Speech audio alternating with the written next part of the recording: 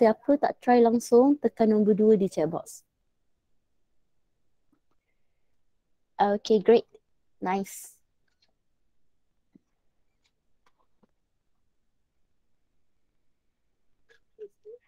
Okay, so today Miss akan bincang dengan korang soalan effort to success. So waktu Miss bincang ni, Miss nak korang mark your own work and then bagi markah. So Miss akan bagi the distribution of mark. So nanti bila dah habis, korang boleh tengoklah korang dapat berapa markah. So ini adalah teknik-teknik untuk menjawab PSPM untuk subjective question. So I'll start now.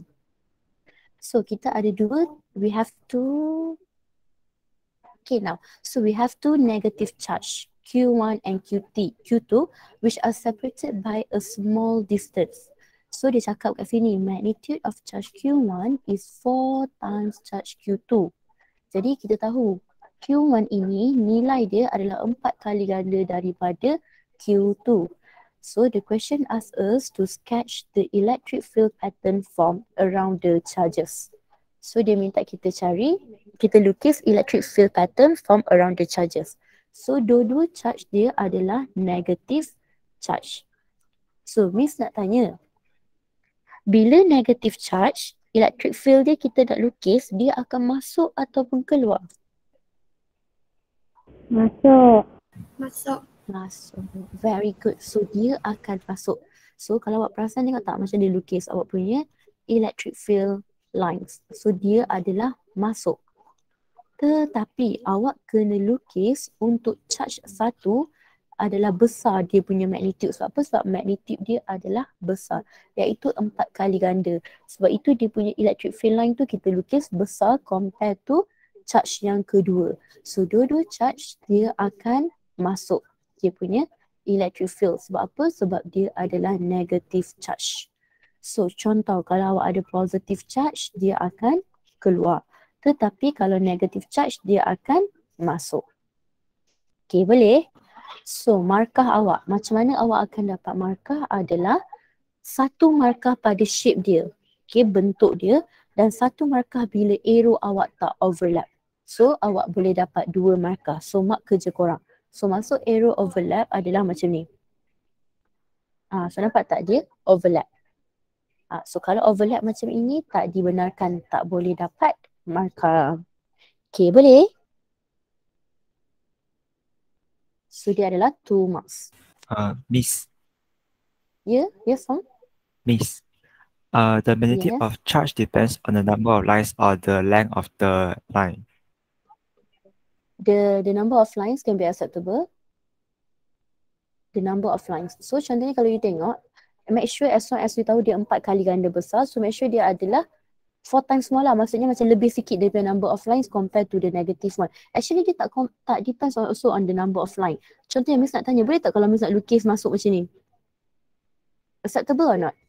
Maksudnya dia keluar daripada charge satu, lepas tu dia masuk kat uh, charge dua. Boleh ke tak boleh yang line biru ni? Hmm, hello kids. Boleh? Bo- dia ni boleh ke? Sobat tengok ni. Tak boleh. Negatif dengan negatif dia keluar masuk sini. Ha, boleh ke tak yang line biru ni? Tak boleh. sebab okay, dia tak boleh. Nak tahu kenapa dia tak boleh? Sebab dia adalah negatif dan negatif. Negatif dan negatif ni dia dua-dua kena masuk. Okay, dia dua-dua kena Tak. masuk. So kalau so sebentar.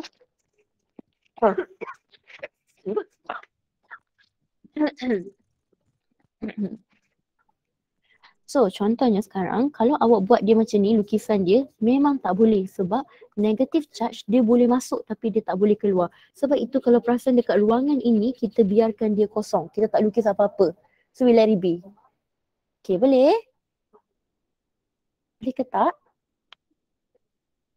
Boleh. Boleh.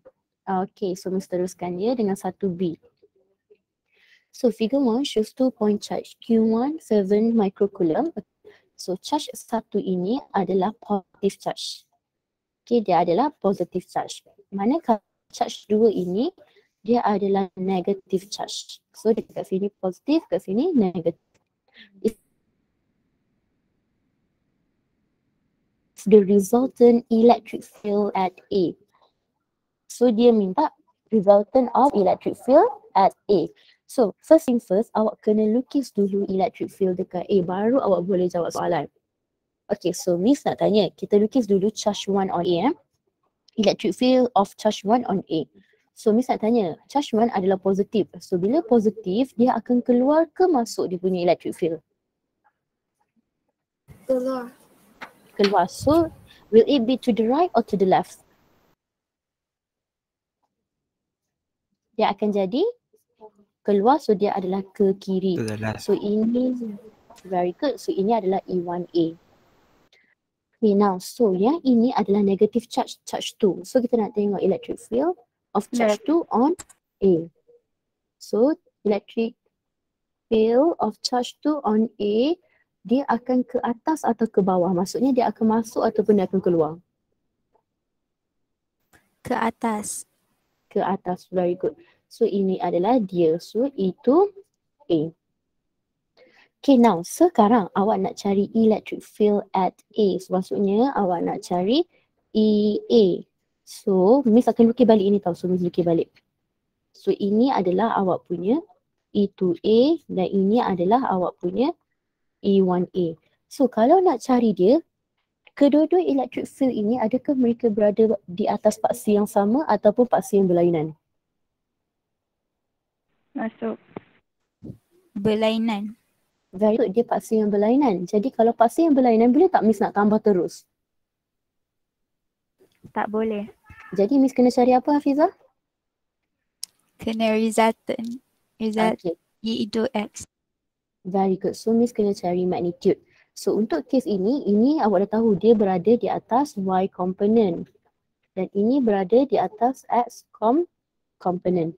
Jadi kita tahu kan kalau kita nak cari any resultant, kita nak guna vector kan magnitude dia, kita boleh pakai formula ni. E equals to EX square tambah dengan EY square. So sama jugalah dengan kes ni. Jadi EA awak, paksi X awak adalah, X com, uh, paksi X awak adalah E1A, E1A square tambah dengan E2A square, square root. Okay boleh? So untuk kes ini awak tak buat table tak apa. Maksudnya awak tak perlu nak buat table X component, Y component. Sebab kita memang tahu kita ada satu X component, satu Y component. Tetapi bila awak ada soalan yang macam ni, ha, dekat sini E1A dia, dekat sini E2A dia. So ada angle. So bila soalan yang macam ada angle ni baru buat table. Baru buat table untuk resolve dia in X component dan juga Y component. So apa yang awak kena buat sekarang? Awak just kena cari E1A awak dan juga E2A awak dan masukkan ke dalam equation ini. So, apakah formula untuk electric field? Okay, apakah formula untuk electric field? Nak habis cepat tak? KA over R squared. R squared. Very good. So, KQ over R squared. So, sekarang dia adalah charge 1 kan? So, KQ1 over R1 squared. So, untuk E2A pun awak kena cari KQ2 over R2A squared. So, korang cari. So, bila korang cari, korang akan dapat 9 times 10 to power of 9 darab dengan charge 7 times 10 to power of negative 6 bahagi dengan jarak antara charge 1 sampailah point A. So, dia adalah 4. 4 times 10 times 10 to power of 9. Charge awak. Okay, Miss tanya, nak tanya. Charge 2, dia ada negatif. Miss perlu masukkan negatif atau tidak? Perlu ke tidak Tak masukkan perlu. negatif? Tak perlu. Very good. Okay, tidak perlu. Dan jarak antara point A sampailah charge 2 awak adalah 3 cm. Okay, dia adalah 3 cm. So, 3 times 10 to power of negative 2 square. So, awak akan dapatlah jawapan awak. 3 times 10 to power of 7 Newton per meter square. Yang dekat sini awak akan dapat 3.94 times 10 to power of 7 Newton per meter square. Tetapi cuba tengok E1A awak, E1A awak dia berada di sebelah kiri. So dia berada pada negative x-axis. Awak punya E2A pada positive y-axis. Jadi awak kena tambah negatif kat sini. Sebab apa? Sebab electric field adalah vector quantity. Jadi kita kena ambil kira dia punya direction. So lepas awak dah dapat dua jawapan ni, make sure awak letak negatif baru awak boleh dapat markah. Dan awak boleh carilah awak punya electric field at A. So dia akan jadi 3.94 times 10 to power 7 squared tambah juga dengan 3 times 10 to power 7 squared and then square root. So your final answer for electric field at point A will be 4.95 times 10 to power 7 Newton per meter squared.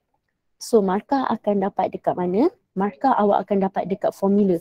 So formula mesti tulis sebagai R. R adalah rumus. Rumus satu markah. Gantian awak satu markah. Ini gantian satu markah. Rumus satu markah. Okay. And then awak akan dapat markah dekat jawapan awak. Jawapan ada satu markah. Lepas itu awak akan dapat jawapan untuk gantian ni juga markah. Ini pun akan ada markah. Dekat sini ada markah gantian dan ini akan ada markah rumus dan yang terakhir adalah awak punya jawapan dan unit. So JU, JU ni maksudnya jawapan dan unit awak, awak akan dapat satu markah. So untuk soalan ni je total dia 1, 2, 3, 4, 5, 6, 7, 8. 8 markah. So Miss ulang balik eh. So awak akan dapat markah dekat rumus. So you are advisable to write your formula in exam. Sebab ada markah rumus. Lepas itu akan ada markah gantian. G ni gantian eh. So ini pun gantian. Gantian satu markah. And then jawapan satu markah, jawapan akhir satu markah. Pastikan ada unit. Kalau tak ada unit salah. And then ini formula ini pun akan ada satu markah. Gantian satu markah. Ini rumuslah satu markah. Gantian satu markah. Dan akhir sekali jawapan dan unit awak akan ada satu markah. Kalau jawapan awak betul tapi tak ada unit salah. So your answer must be with unit. Without unit, it is wrong. Okay, boleh? So, itu adalah untuk soalan nombor satu. Okay, Miss nak korang kira, korang dapat berapa markah untuk soalan nombor satu A dan B ni. Maksudnya totalkan dia. Dia sepatutnya total dia 10 markah. Okay, cuba kira dan tulis dekat chat box korang dapat berapa markah. Boleh?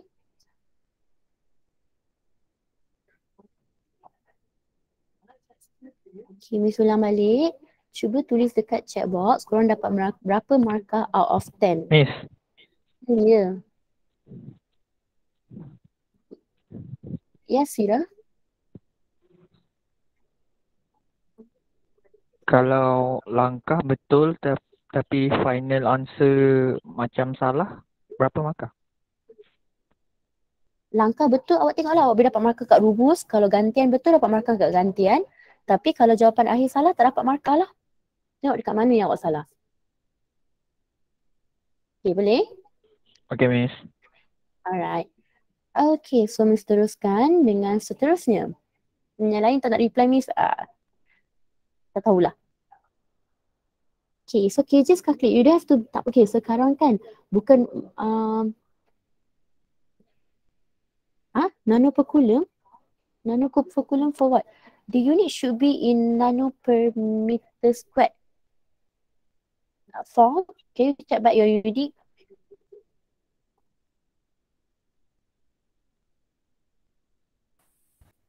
Uh, miss, I mean the uh, unit for electric field.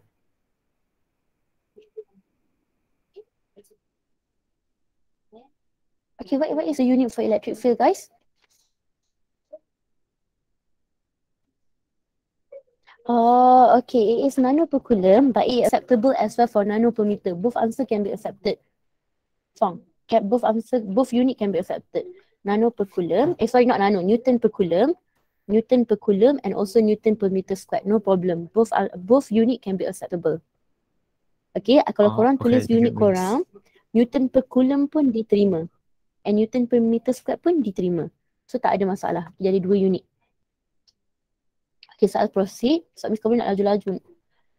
Okay, so the next one adalah figure one shows two point charge entering a uniform electric field. So sekarang between two parallel plates. Dia akan ada dua parallel plates dan dia ada electric field. So ini adalah kita punya electric field lah dekat atas. Of course electric field kita dia akan keluar daripada positif dan dia akan masuk ke negatif. So bila soalan cakap copy figure one, awak memang kena copy dia and sketch the path of the two charge in the electric. So, Sekarang awak ada dua charge and both charge adalah negative charge. So Miss nak tanya negative charge akan attracted to positive plate or negative plate? Positive. Very good. Dia akan attracted to positive plate. So yang mana akan macam yang cakap dia akan pergi lebih jauh. Yang mana akan jatuh lebih jauh?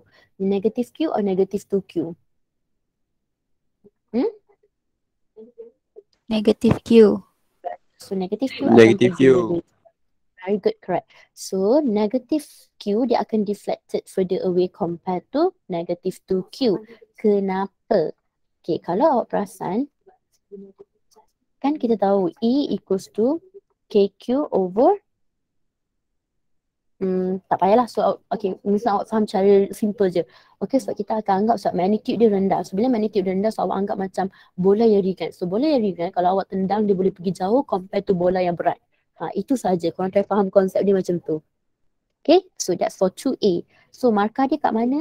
So, markah dia adalah dekat sini satu markah, sini pun satu markah. So, kalau betul dua-dua ni, awak akan dapat dua markah. So, make sure dia deflected to positive plate. Itu untuk 2A. Okay, sekarang untuk 2B. So, figure 2 shows two charge. Q1 dan Q2. And both charge adalah positive charge. Okay. And separated by 4 cm apart. Calculate the magnitude of the resultant electric field at point P. So, point P ni. So, first thing first, macam Miss cakap, awak kena buat apa? Awak draw dulu dia punya electric field diagram.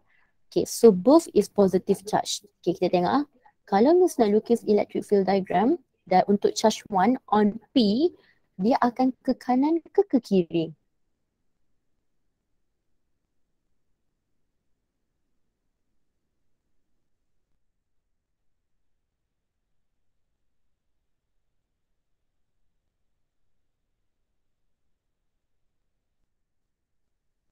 Macam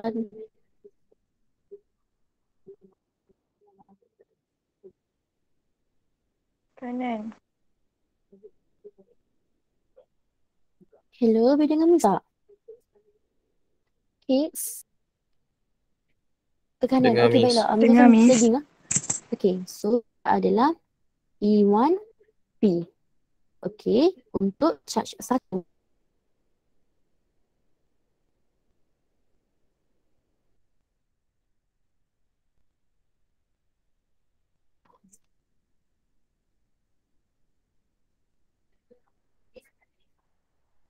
Okay, dah tak sekarang? So, rasa macam lagging.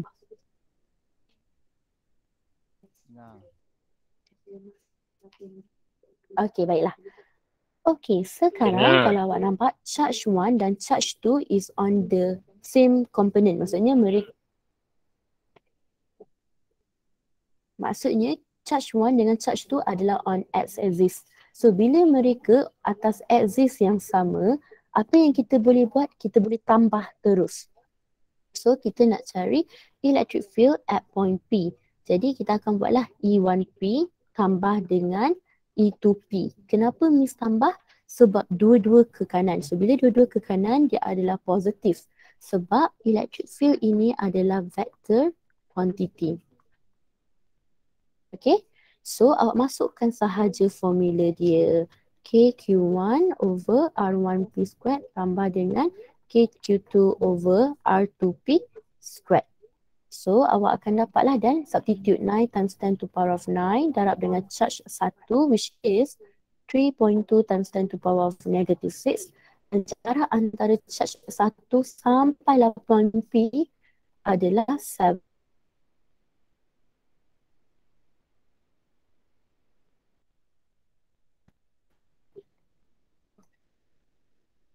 Okay, dan jarak antara charge 2 sampai point P adalah times 10 to the power of negative 2 square. So, awak akan dapatlah jawapan awak.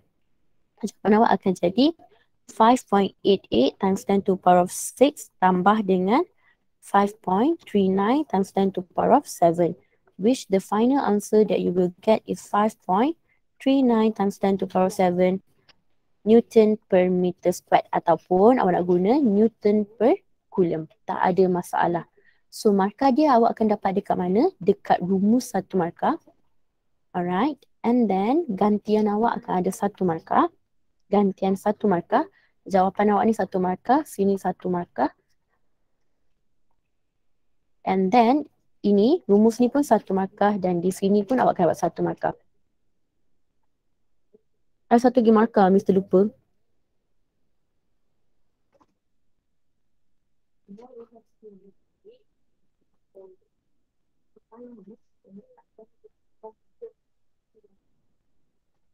Tujuh, satu, dua.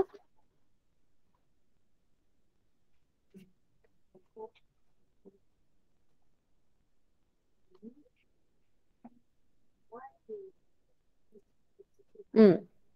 So ini adalah markah yang awak akan dapat. Mr. Aru. Dan gantian awak satu markah. Awak ada dua gantian. Oh, jawapan-jawapan satu markah. Satu, dua, tiga, empat, lima.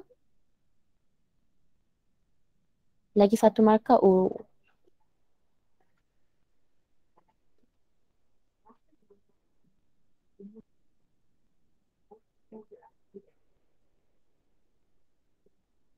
So ni adalah markah yang awak akan dapat. Okay, rumus, gantian dan semua. So total markah untuk 1A dan 1B ini adalah 10 markah. So kalau awak dapat pemeriksa yang baik, dia tengok jawapan akhir awak dah betul, dia akan bagi terus full marks. Okay, so nanti tulis dekat chat box awak dapat berapa markah ya out of 10. Thank you. Okay, kenapa Edi? Okay, boleh. Teruskan? Tertekan, tertekan. Oh, tekan. Baiklah. Okay, uh, boleh Mr. teruskan? Okay, cuba tulis korang dapat berapa markah. Campur yang ini dan juga yang ini dapat berapa markah? Out of 10. Ni saya tengok sikit. Oh, okay, not bad. Okay, good. Okay. Okay, good. So, Miss teruskan ya. Sambil-sambil korang tulis markah tu, Miss akan teruskan sahaja. So, the next question, ya Allah banyaknya. Mana pergi ni? Okay, so the next question dia cakap, write the equation of a parallel plate capacitor in terms of epsilon naught, area dan juga distance. Okay, so formula memang kita tahulah equation of parallel plate ni, inilah formula C equals to epsilon naught A over D. Hafal formula ataupun tengok rumus dah boleh dapat jawapan. Satu markah. Okay, ni satu markah. Okay, seterusnya, ha yang ini kena calculate equivalent of equivalent capacitance of a circuit. So ini adalah diagram yang dia bagi yang pertama. So bila Miss buat soalan macam ni, Miss akan lukis. Miss akan lukis bodoh-bodoh, simple-simple. Janji Miss faham. So before that, I will label first. So this is going to be resistant 1, resistant 2, resistant 3 and resistant 4. So Miss akan settle dulu yang ini. So R1 dan R2 parallel ke series? This is C. Resistance pula. Maaf. Okay, Miss nak tanya. C1 dan C2 dalam parallel ke dalam series? Parallel. Parallel. Baik. So, apakah formula untuk cari parallel untuk capacitance? Kalau parallel kita Terus Tambah. tambah. very good. C1 tambah dengan C2. So C1 kita 4, C2 kita 6. So kita akan dapat 10 microfarad settle. So Miss akan lukis diagram Miss yang bodoh-bodoh untuk diagram yang kedua. So Miss akan gabung je C1 dengan C2. So sekarang So kalau Miss tengok sini adalah C3, ni C12 dan sini adalah C4. So kalau awak tengok C12 dengan C3 parallel ke series? Dia adalah series. Jadi untuk cari capacitance untuk series adalah 1 over C123 tambah 1 over C12 tambah dengan 1 over C3. Okay dan C12 means adalah 10 dan C3 means adalah 2. So awak tekan kalkulator awak akan dapat 5 over 3 microfarad ke? Okay 5 over 3 microfarad. Itu untuk yang kedua. So untuk yang ketiga, Miss akan sama lagi lukisan Miss. Okay. So this is the last one. So bila awak tengok dua ini, dia adalah parallel. So bila dia parallel, kita hanya tambah dia saja. So kita nak cari effective capacitance C123 tambah dengan C4. Sebab sini C123 dan sini adalah C4. So awak akan dapat effective capacitance awak 5 over 3 tambah dengan 3. Sebab C4 kita adalah 3 microfarad dan effective capacitance yang awak akan dapat adalah 4.67 microfarad. So markah yang awak akan dapat adalah dekat sini. Dia akan bagi markah terakhir. Rumus, gantian dan juga jawapan dan unit. Tiga markah awak dah dapat dekat equivalent capacitance of a circuit. Okay. So itu untuk B1. Uh, korang jangan risau nanti Miss akan bagi skema eh. So untuk soalan kedua dia minta apa? Dia minta charge on the 2 microfarad dan 4 microfarad capacitor. So dia minta charge on 2 and 4 microfarad capacitor. So maksudnya dia minta charge 1 on capacitor 1 and charge on capacitor 3. So macam Miss cakap, bila awak nak buat soalan ni, awak lukis daripada nombor 1, 2 dan 3. Tapi bila nak jawab soalan pasal charge ke, pasal voltage ke, awak buat balik daripada nombor 3 sampai nombor 1, naik atas balik. So dekat sini awak tahu dia habis dengan parallel. So bila parallel apa yang sama? Kids, bila parallel apa yang sama? Voltage. Very good. Total voltage dia akan sama dengan V123 sama dengan V4 di mana sama dengan 10 volt. So sama dengan 10 volt. So bila awak dah dapat, awak boleh cari V123 ni awak dah tahu 10 volt kan? Awak sebenarnya boleh cari charge 123 pakai formula apa? Awak tahu V123, awak tahu C2, C123. Macam mana Miss nak cari charge yang flow through capacitor 1, 2, 3 ni? Nak pakai formula apa? Baiklah, pakailah formula C equals to Q over V. Di mana C123 means adalah 5 over 3 times 10 to power of negative 6. Charge 1, 2, 3 dan voltage 1, 2, 3 Miss dah tahu 10. So Miss akan dapat charge on capacitor 1, 2, 3 adalah 16 Dapat berapa eh? Cuba tekan jap.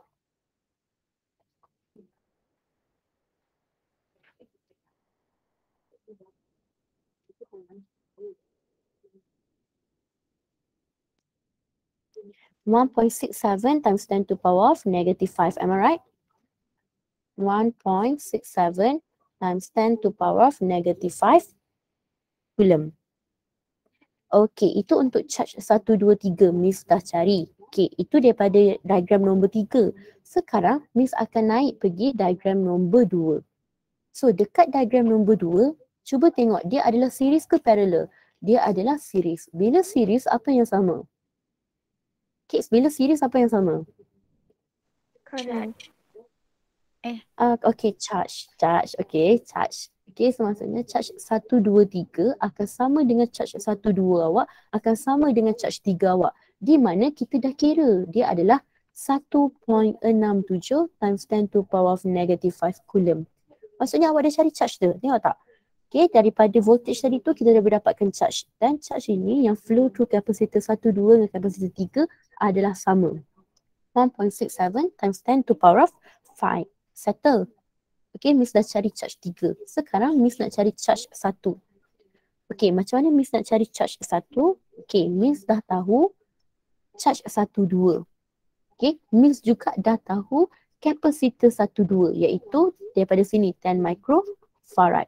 So, Miss boleh cari voltage satu dua. So apa Miss akan buat? Miss akan pakai formula ni. C equals to Q over V. So C12 adalah 10 times 10 to power of negative 6. Q dia adalah 1.67 times 10 to power of 5. Dan voltage 12. So voltage 12 Miss akan dapat sebanyak 1.67 volt. Okay, dah dapat voltage Miss biarkan sahaja. Okay, sekarang Miss pergi pula dekat diagram nombor satu. So diagram nombor satu ni dia cakap parallel. So bila parallel apa yang sama? Kita tahu voltage dia akan sama. Maksudnya V12 akan sama dengan V1 sama dengan V2 sama dengan 1.67 volt. Dan sekarang Miss nak cari apa? Miss nak cari charge satu. V12 dah V1 dah tahu. Charge 1 kita nak cari, uh, nak cari. C1 kita dah tahu. Pakai je lah formula ni. C equals to QV. C1 means 4 times 10 to power of negative 6. Q1 nak cari dan V1 means Miss dah tahu adalah 1.67. So Miss akan dapatlah charge 1 Miss adalah 6.68 times 10 to power of negative 6 coulomb. So that's all. So untuk soalan ni, awak sebenarnya kalau awak lukis awak akan nampak semuanya. Dan macam Miss cakap, bila nak cari effective capacitance, kita buat daripada satu diagram, kedua punya diagram dan ketiga. Bila kita nak cari yang lain-lain, kita start daripada diagram ketiga, kedua dan ke satu. So macam mana awak akan dapat markah dia? Okay, so markah dia kita akan sambung dengan sini, okay. Awak akan dapat satu markah rumus, awak akan dapat satu markah gantian dan satu markah uh, jawapan. Sama juga. Dan awak akan dapat markah rumus kat sini dan di sini. So total markah yang awak akan dapat adalah sembilan. Untuk soalan ni je awak akan dapat sembilan markah. Tambah yang dengan dekat sini satu. So awak boleh dapat sepuluh markah. Okay, that's all. So, macam biasa, korang cuba calculate korang dapat berapa markah dan tulis dekat chat box. Sebelum Miss teruskan. Ada apa-apa soalan ke okay? Kids, do you have any question or are you guys okay?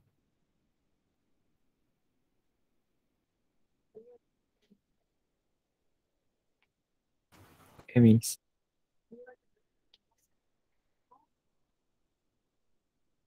Ah, okay, so kalau okay tulislah dapat berapa markah out of 10 dekat chat box. So tak payah malu, kita belajar. So whatever you learn today is for your future. So it's alright if you make, make buat salah sekarang. Nanti in the future kita dah tahu dah lah. Okay, nice Aini. You start first. Okay, very good form. Very good Afiza. Okay, good job. Okay, so that nanti Miss boleh keep in track korang punya marker juga. Okay, very good. Okay, good Shu. Okay, good. Good Ainato. Okay, good Eddie lagi.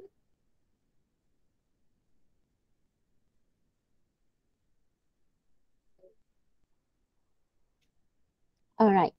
So misalkan sambung dengan soalan nombor empat. So nombor empat ni sama juga dia minta soalan effective capacitance. Okay, very good. Mafi. What is the effective capacitance of the combination of capacitors? So macam ni sama juga awak tak tahu dia punya C1, C2 kan awak label sendiri. So Miss jadikan ini C1, ini C2 dan ini adalah C3. Macam Miss cakap, draw je balik. Tak payah draw je cantik. Tak perlu pakai ruler. Draw bodoh-bodoh je. So, supaya pemeriksa pun faham apa yang awak buat. So, C1 dan C2 ni kita tahu dia adalah parallel. Okay, so bila dia parallel, kita tambah sahaja. So, C1 tambah dengan C2. So, C1 kita adalah 0.02. C2 di kita adalah 0.04. So, awak akan dapat 0.06 microfarad. Settle. So yang kedua, draw je diagram. Very simple diagram. So dekat sini kapasitas awak, kat sini kapasitas awak. So sini adalah C12 dan sini adalah C3. So dia adalah dalam series. So bila dia dalam series, dia adalah 1 over. Effective equals to 1 over C12 tambah dengan 1 over C3. So C12 kita, kita dah dapat 0.06 C3 pun kita dah tahu 0.06. Tekan kalkulator awak akan dapat effective capacitance awak 0.03 microfarad. So markah kat mana? Markah adalah dekat rumus, gantian dan juga jawapan dan unit akhir. So your final answer must come with unit. Kalau tak awak tak akan dapat markah. Senang-senang sahaja dapat 3 markah. Okay boleh? So itu adalah untuk 4A. Okay, yang empat b ni. Okay, empat b ni dia sebenarnya senang je kita pergi saja. So in figure 3, the two capacitors are initially uncharged. Okay, mula-mula dua capacitor ni tak di-charge pun. Dia tak di-charge. Kosong. Tetapi switch S, switch S ni is then move to position X. So switch S ni akan move to position S. X. How much charge will be on the capacitor C1. So dia tanya berapa banyak charge akan store dalam capacitor C1. Okay, Miss nak tanya, bila kita tutup switch dekat X ni, akan ada flow of uh, current lah kan? So Miss nak tanya flow of charge in an electron. Adakah C2 is affected? Adakah C2 di-charge atau tidak? C berapa yang di-charge? Kapasitan 1 ke kapasitan 2 bila X ini ditutup? C1. Very good. C1. So C2 ni still uncharged, okay? C1 sahaja yang akan di-charge. Jadi kalau awak nak cari dia punya charge, pakai formula ni sahajalah C1 equals to Q1 over V. So C1 kita, kita dah tahu 22 times 10 to power of negative 6. Charge satu kita, kita nak cari dan V kita adalah 12. So charge satu kita, kita akan dapat 2.64 times 10 to power of negative 4 coulomb. That's all. So berapa macam mana awak nak akan dapat markah? Markah rumus satu, markah gantian dan jawapan akhir dengan unit yang betul.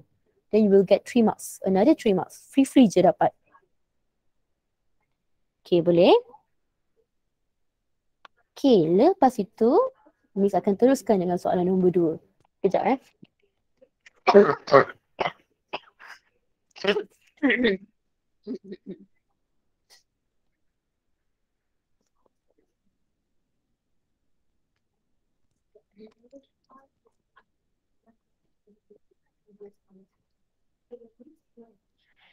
so the next one dia cakap switch S is then moved to position Y. So maksudnya sekarang daripada position X dia akan move to position Y. So dia tanya what is the potential difference across each capacitor. So dia minta kita cari V1 dan juga dia minta kita cari V2. Okay, tadi bila kita tahu kapasitas kapasitas satu kita ni dah di-charge which is kita dah tahu dia punya charge dia adalah 2.64 times 10 to power of negative 4 coulomb. Yang ini dia uncharged. Okay, initial dia uncharged. Maksudnya dia tak di-charge lagi. Tetapi, tetapi bila awak dah tutup switch dekat Y ini, maksudnya tahu siapa yang akan charge kapasitor 2 awak. Yang akan charge kapasitor 2 awak adalah C1. So C1 will will C1 will charge C2. Okay, kenapa? Sebab total charge adalah conserve. Okay, C1 yang akan charge C2 sebab total charge is conserve. Okay, sebab sebab dia sahaja yang ada charge tau. Jadi member, member C2 ni tak ada charge. Jadi apa yang dia akan buat, C1 ni dia lah yang akan menjalankan tugas charge kawan dia. So bila dia dah charge kawan dia, maksudnya mereka akan kongsi charge yang sama. So macam saya cakap tadi, mula-mula ni initially ya, ni initially. So initially charge charge capacitance satu adalah 2.64 times 10 to power of negative 4. Tapi lepas dia dah charge member dia, dia punya charge akan tinggal setengah lah. So 2.64 times 10 to power of negative 4 bahagi dengan 2. So charge dia akan tinggal sebanyak 1.32 times 10 to power of negative 4. Sekarang, each capacitance ni, charge mereka adalah 1.32 times 10 to power of negative 4. Dan dia minta kita cari apa? Dia minta kita cari voltage across each capacitor. Sebabkan dia punya charge dah sama, awak akan dapat same voltage juga. Macam mana nak cari voltage dia? Miss guna je salah satu. Contohnya Miss guna C1 equals to Q1 over V1. So C1 Miss bisa tahu 22 times 10 to power of negative 6. Charge satu Miss adalah 1.32 times 10 to power of negative 4 dan Miss punya potential difference. So, Miss kira Miss akan dapat potential difference ni adalah 6 volt. Okay, so Miss ulang balik untuk soalan ni ya. So, soalan ni mula-mula kita tahu charge satu ni dia ada charge. Initially, charge dia adalah 2.64 times 10 to power of negative 4. Lepas itu, sekarang dia je yang ada charge. Lepas tu ada member. Member ni uncharged. Okay, dia tak ada charge. So, apa yang dia buat charge satu ni, dia akan charge kawan dia ni, charge dua ni. Lepas dia dah charge, charge itu akan terbahagi kepada dua. Kenapa charge itu boleh terbahagi kepada dua? Sebab nilai kapasitans mereka adalah sama.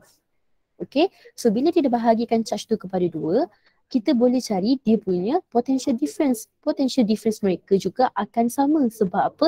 Sebab charge mereka sama dan nilai capacitance mereka adalah sama. So awak tekan kalkulator dan sebagainya awak akan dapat 6 volt. So macam mana pecahan markah dia? Okay, so untuk ini dia akan ada markah konsep. Ha, dekat sini akan ada satu markah. Dia akan ada markah konsep. Lepas itu dia akan ada markah rumus, dia akan ada markah gantian dan dia akan ada markah jawapan dan unit.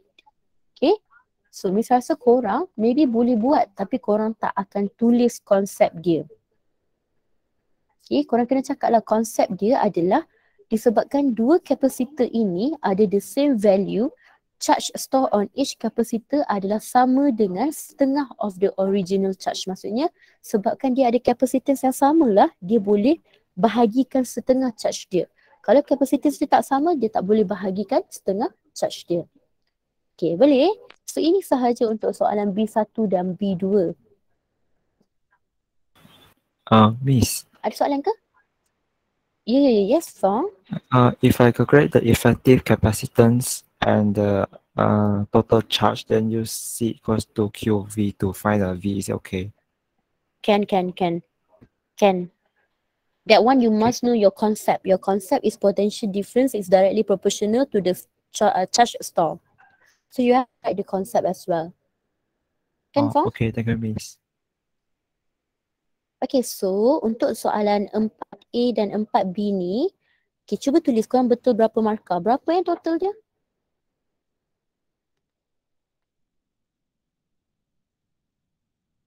Hello? Boleh dengar Miss tak? Oh, Miss kena, aku pun.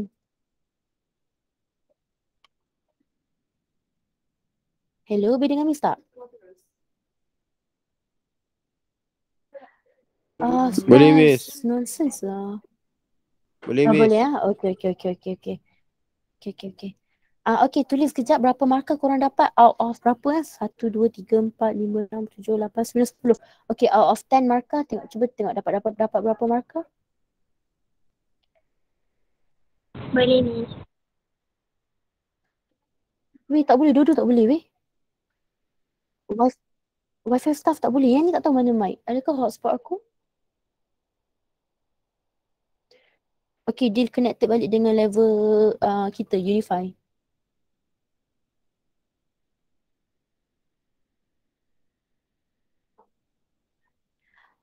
Kau connect, connectkan dengan uh, uh, Unify kita, yang level kita.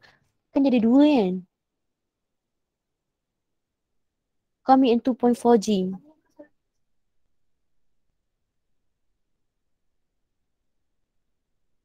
Okay guys, okay thank you so much. Okay, very good. It's okay. So, kebanyakan salah dekat mana untuk soalan ini? Adakah dekat B2?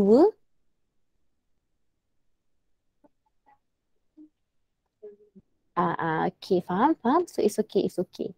Alright. So, ini adalah cara, okay, soalan, ah, okay, soalan chapter 2, dia boleh jadi confusing bila soalan macam ni keluar. So, soalan macam ni, dia kena strong konsep lah. Konsep korang kena kuat. Korang boleh faham macam mana nak buat soalan ini. So, tapi usually tak kuat, dia tak keluar macam ni kot, insyaAllah. Okay, so now let's proceed to Kechof, nombor 5. Okay, so ini adalah soalan Kechof. Okay, bila Miss dapat soalan macam ni, apa yang Miss kena buat dulu step pertama? Anyone? Lukis. Okay, lukis apa tu? Okay, ini adalah soalan Kechof. So first thing first, awak determine dulu current dia. Current dia flow macam mana. Okay, so ini adalah junction. Ulang lagi ya? Ah, ini sama tadi? Okay, so dia dekat junction. So kita tengok. So dekat junction Miss akan label current yang masuk kat sini adalah I1. Okay, lepas itu Miss akan label. Eh, tengok labeling korang tau. Kor- Korang punya labeling might be different compared to me. So yang masuk ni pun juga adalah I2 dan dia akan keluar sebagai I3. Lepas itu, I3 ni akan flow, flow, flow sampai balik dekat junction. So bila dia sampai balik kat junction, dia akan keluar sebagai I1. So ini pun dia akan keluar sebagai I1. Ini pun sebagai I1, sini pun I1. And yang dekat junction kan, so I3 ni, ni ada junction simpang. Simp kalau ada simpang je current akan pecah. So dekat sini dia akan keluar sebagai I2, I2, I2. Okay, settle satu masalah miss.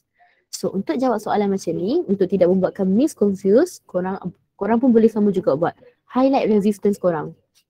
Okay, highlight your resistance. And then korang highlight EMF korang. Okay, settle. Okay, untuk membuatkan Miss tidak lagi confused, Miss akan label EMF Miss. EMF 1, EMF 2. Lepas itu, Miss akan label lagi resistance Miss. Resistance 1, resistance 2, kat sini lah. Okay, and then resistance 3, resistance 4. So settle masalah Miss Miss dah label. Okay, setakat ni okay. Boleh Miss teruskan?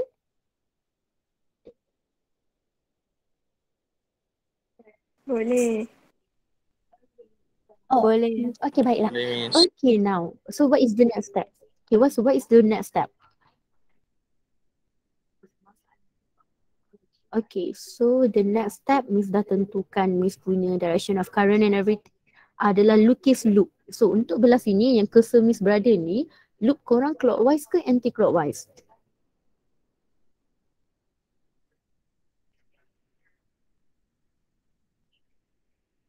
Okay, dia Clockwise. adalah clock. Okay, very good Syafiq. So adalah clockwise. So ini adalah loop satu awak. So kita akan settlekan dulu satu-satu. So before buat dia, Miss akan fokus dekat part ni dulu. So dekat parts ini Miss akan pakai first Kirchhoff law. First Kirchhoff law dia cakap apa? Submission of current masuk akan sama juga dengan submission of current keluar. So current apa yang masuk simpang?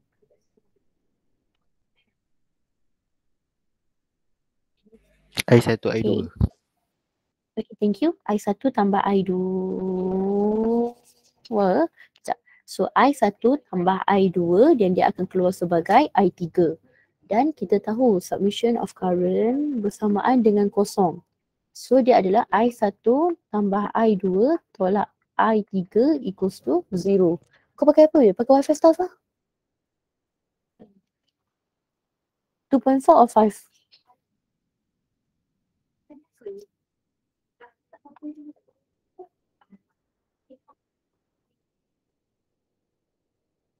Okay, lepas itu I1 tambah I2 tolak dengan I3 akan equals to 0. So ni adalah equation pertama awak. So baru awak boleh tengok loop satu. So kalau untuk loop-loop ni kita akan pakai submission of EMF sama juga dengan submission of IR. Okay. So first thing first, cuba tengok direction of EMF. Kita ada berapa EMF kat sini? Untuk loop satu, kita ada satu sahaja EMF. Jadi dia adalah EMF satu. And then kita tengok current apa yang lalu resistor satu. Current yang lalu resistor satu adalah current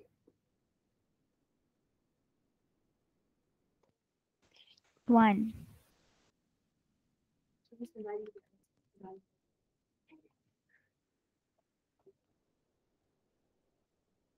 Okay, current, uh, current, uh, sorry, current yang lalu resistor satu adalah current satu. Current yang lalu resistor dua adalah current tiga. Okay, dan current yang lalu resistor tiga adalah current satu. Okay, dan dekat sini baru kita akan tentukan sama ada dia positif atau negatif. Everything. Maksudnya bila kita nak tengok sama ada EMF kita positif atau negatif, current kita positif atau negatif, kita akan bergantung kepada loop kita. So cuba tengok ada EMF satu. So direction of EMF satu ni ke atas atau ke bawah? Atas. Ke atas. So tengok loop kita. Loop kita pun adalah ke atas. Jadi dia adalah positif 14. Okay, cuba tengok current satu kita ke kanan, loop kita pun ke kanan. Jadi dia adalah positif. Okay, current tiga kita ke bawah, loop kita pun ke bawah. Jadi dia adalah positif. Current satu kita ke kanan, loop kita pun, eh sorry, current satu kita ke kiri, loop kita pun ke kiri. So dia adalah positif. Jadi awak tekan kalkulator, awak akan dapat 14I1 tambah dengan 1.6I3. Tak tekan pun, tambah je sendiri. So ini adalah equation number 2. Okay, lepas itu kita akan lukis the second loop. So the second loop ini, dia adalah anti-clockwise. Okay, dia adalah anti-clockwise. So sama juga. So untuk loop 2 ini, kita tahu submission of EMF akan sama juga dengan submission of IR. So dekat loop 2 kita cuma ada satu EMF iaitu EMF 2. Dan kita ada dua resistor. So kita tahu current 3 akan lalu resistor 2 dan current 2 akan lalu resistor 4. So sekarang kita nak determine sama ada positif atau negatif untuk EMF dan current dia. Tapi sebelum tu lukis dulu direction of EMF awak untuk EMF 2 ni. So dia adalah ke atas sebab dia adalah from negative to positive terminal. Dan loop awak ni pun juga ke atas. Jadi EMF awak adalah positif. Cuba tengok current yang lalu resistor 2 adalah positif. Sorry, current yang lalu resistor 2 adalah ke bawah. Loop pun ke bawah. Jadi dia adalah positif. And then current 2. Current 2 yang lalu resistor 4 ke kiri, loop pun ke kiri. Jadi dia adalah positif. So awak akan dapatlah this is your third equation. So third equation settle. So next step tulis kecil-kecil jangan bagi nampak. Tulis kecil-kecil. I1 sama dengan 1, I2 sama dengan 1, I3 sama dengan negatif 1 equals to 0. Ini pun sama. Kenapa? Then I3 equals to 1.6, ini equals to 14. Ini pun sama. I1 equals to 0, I2 equals to 7, I3 equals to 1.6 dan ini adalah equals to 12. So ini tulis bukan dalam exam paper awak. Awak tulis je dekat kertas soalan tu. Dah dapat ini, letak dalam kalkulator dan cari dekat Miss I1, I2 dan I3 korang berapa.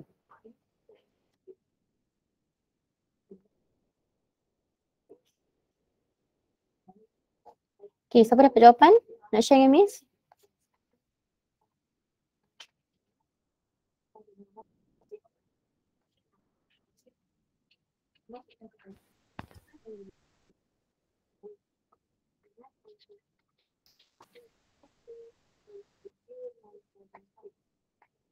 Hmm. Ada yang nak share ke?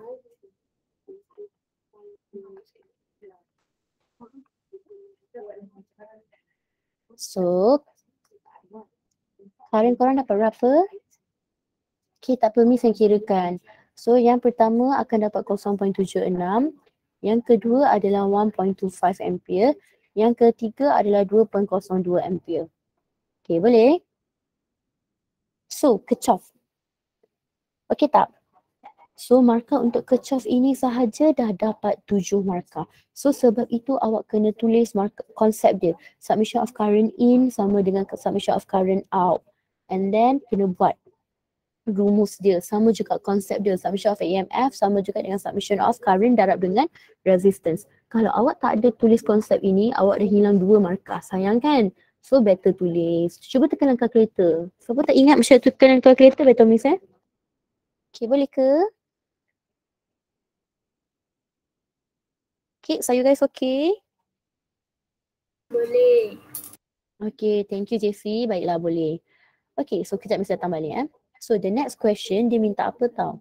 Dia minta potential difference across 7 ohm resistor.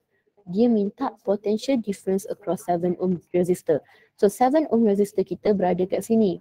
Jadi dia minta Okay, dia minta potential difference across 7 ohm. So maksudnya dia minta ini, V4 awak. Sebab Miss label resistor, uh, 7 ohm ni sebagai resistor keempat. Jadi, dia akan jadi V4 equals to IR, R4. Tapi current yang lalu resistor 4 adalah current 2. Jadi, current 2 awak adalah 1.25 dan resistor 4 awak adalah 7. So, awak tekan kalkulator, awak akan dapat 8.75 volt tiga markah. rumus satu markah, gantian dan juga jawapan akhir dengan unit yang betul satu markah. So untuk Kirchhoff ni kalau dia keluar exam, senang-senang awak boleh dapat 10 markah. So macam biasa, tulis berapa markah yang awak dapat out of 10 dekat chat box. Okay, Miss bagi 30 saat, lepas tu Miss nak teruskan dengan soalan nombor 6.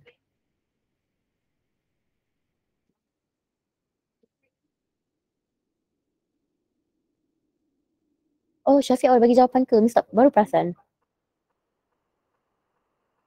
Okay, very good Hafizah. Ya, Alip, Alip. Alip, Alip, Syafiq. Okay, maaf.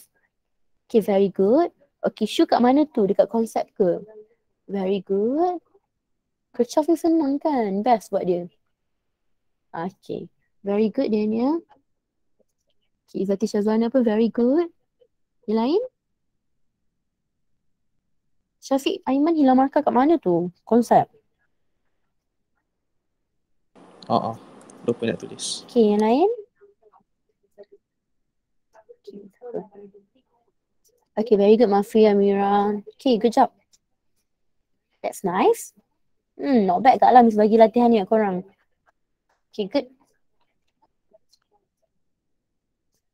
Okay, so the next one. Yang lain tulis je markah Miss akan baca tau. So the next one adalah define Coulomb's law. State dengan define, uh, sorry, state Coulomb's law. So what is Coulomb's law? Coulomb's law adalah magnitude of the electrostatic force between two point charge that is directly proportional to the product of the charges dan inversely proportional to the square of the distance between them. F equals to KQ1 Q2 over R12 square. Okay, so ini adalah dia punya uh, formula tetapi dia kata state. Bila state awak kena tulis dalam bentuk ayat panjang-panjang macam ini. So awak tak boleh tulis dia punya formula which is F adalah directly proportional to the product of charges dan inversely proportional to the distance squared. So awak tak boleh tulis ini. Sebab apa? Sebab dia kata state. Bila state ayat. Tetapi bila dia kata define, define kan? Define electric field. So bila define boleh dalam bentuk formula. Okay, so awak define je lah. E equals to F over Q naught. Sebab tu dia cakap a region of space around isolated charge place charge when an electric force is experienced if a positive test charge placed in the region. Okay, macam payah kan nak hafal kan? Bila define je, tulis je formula. Tetapi awak kena label formula awak. Itu apa? Itu adalah electric field strength. Okay, and then F adalah electrostatic force. Q naught adalah test charge. Okay, so ini je. Kalau awak nak tulis macam ini pun akan diterima. Macam ni cakap state ayat, define, formula je. Okay, that's all untuk 6A1 dan 2. Okay, so yang ini. Figure 1 shows two point charge of equal magnitude. Okay, maksudnya sekarang kita ada dua charge. Okay, dua charge dan dua charge ini magnitude dia adalah sama. So bila cakap pasal magnitude, mesti tengah cakap pasal nilai. Nilai dia adalah sama. But opposite signs ialah satu positif, satu negatif. Dan jarak dia adalah 16 cm. The electric field at midpoint is 845 Newton per coulomb. So midpoint. So bila dia cakap midpoint, dia cakap tengah-tengah. Itu maksud midpoint. So the first question dia minta kita sketch and label the direction of the electric field strength by each charge at point P. So sekarang kita kena lukis dia punya electric field strength punya diagram. So macam Miss tahu, kalau dia positif, of course dia akan keluar. Dia akan move away from the charge. So dia akan ke kanan lah untuk case ini. So ini adalah untuk E1P. Kalau negative charge, dia akan masuk. So dekat sini akan jadi E2P. So bila awak lukis, awak label je ini point P and then ini awak label je E1P dan ini awak label je E2P. Dan awak punya draw dan arrow ni awak boleh dapat dua markah. Itu saja. Selepas itu, Miss proceed dengan 6B. So dia cakap figure 1 shows dah baca banyak kali dah. So Miss cuma label balik je. So ini adalah Q1, ini adalah Q2 dan jarak antara sini ke sini adalah 16 cm. So point P ini adalah di tengah-tengah. So bila dia di tengah jarak antara satu charge ke point P adalah 8 cm. Sebab dia adalah in the middle. Okay, then the question asks us to calculate the magnitude of the charge. So maksudnya kita tahu Q1 dan Q2 dia adalah nilai yang sama. Cuma yang membezakannya adalah sama ada dia positif ataupun negatif lah. So macam mana Miss nak cari dia? Miss tahu kalau formula untuk electric field dia adalah KQ over R squared. Dan Miss tahu dekat tengah-tengah ni electric field of the midpoint A ialah 845 adalah 845 Newton per coulomb. Tetapi kalau Miss tahu dia di tengah-tengah, jadi Miss boleh tahu E1 P Miss berapa, E2 P Miss berapa. Bagaimana? Miss cuma akan bahagi dengan dua. So sama juga bahagi dengan dua sebab dia adalah di tengah-tengah. So ini adalah lebih kurang macam konsep jugalah. So bila 845 bahagi dua korang akan dapat 422.5 Newton per coulomb. Ni pun samalah 422.5 Newton per coulomb. So awak boleh pilih sama ada awak nak buat untuk charge satu ataupun charge dua. Okay, Miss buat untuk charge satu. So E1P akan sama dengan KQ1 bahagi dengan R1P squared. So E1P Miss Miss dah tahu adalah 422.5. K adalah 9 times 10 to the power of 9. Charge satu adalah kita nak cari dan jarak antara charge 1 sampai point P adalah 8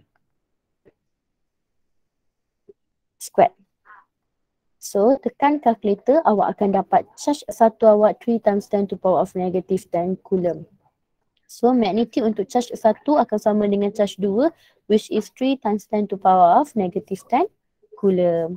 So markah yang awak boleh dapat adalah markah konsep di sini. Satu markah. And then awak akan dapat markah rumus, awak akan dapat markah gantian dan markah substitution. I mean uh, jawapan akhir dan unit. So that's all untuk 6B. Jul. Okay, cuba tulis sikit korang dapat berapa markah out of 6. Untuk soalan B ni, cuba Okay, untuk soalan 6A dengan 6B ni kan dia total dia berapa markah? 8. Okay, out of 8 korang dapat berapa markah? Start daripada definition of Coulomb law tu.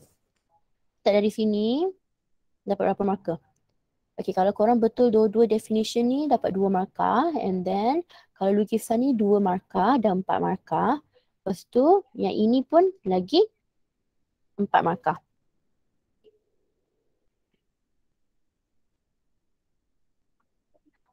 Okay, cuba tulis out of 8 dapat berapa?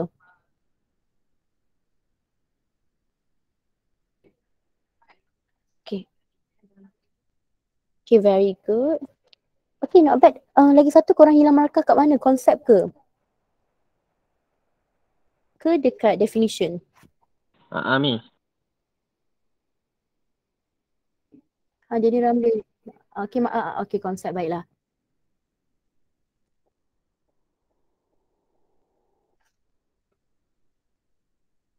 Ah, lepas ni buat macam ni baru korang tahu betapa pentingnya untuk tulis konsep kan. Kalau objektif tak perlu pun nak tulis panjang-panjang macam ni. Tekan kalkulator je dapat. Okay, mesti teruskan ya. Boleh?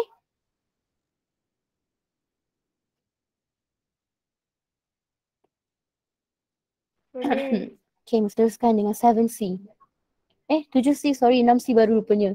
Okay, baiklah. So, the first question, cari effective capacitance. Ya Allah, banyaknya soalan cari effective capacitance ni. Okay, so ada three capacitors connected to 12 volt battery, cari effective capacitance.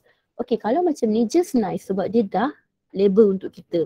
Jadi kita tak perlu nak label dia dah, kita terus buat. So kita tahu C1 dan C2 adalah parallel. So bila parallel, untuk capacitance kita hanya perlu tambah dia sahaja. So C12, C12 dan C2 adalah 3. So awak akan dapat 5 microfarad. And then macam Miss cakap, lukis balik. Jangan malah lukis balik. So, awak akan dapat sini adalah C3 dan ni adalah C1, 2. Dan ini adalah 2 plus volt. So, sekarang ini adalah dalam series. So, bila dia dalam series, kita nak cari effective capacitance dia, kita akan 1 over. So, 1 over C12 tambah dengan 1 over C3. So, 1 over C12 awak, awak dah dapat tadi iaitu 5 dan capacitance 3 awak adalah 4. So, awak akan dapat effective capacitance awak adalah 2.22 microfarad. Settle. So, mana nak dapat markah? Sini akan jadi, rumus awak akan jadi satu markah, gantian dan jawapan akhir. Bersama unit yang betul.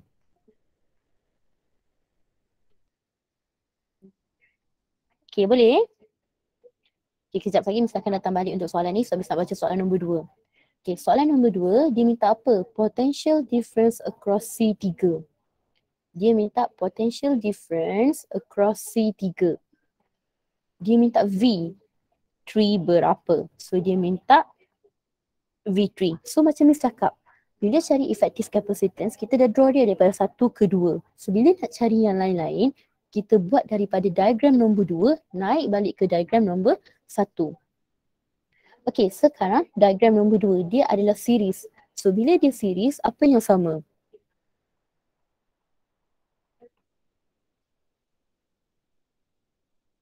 Series apa yang sama guys? Very good, charge.